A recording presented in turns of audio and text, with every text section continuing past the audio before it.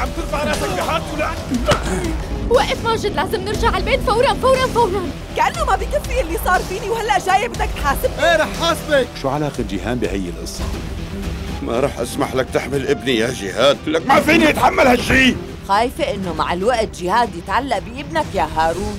عم فكر إنه لازم اهتم بهذا الولد أكثر يعني. عشق ودموع يوميا سبعة إلا ربع المساء على ال بي سي آي.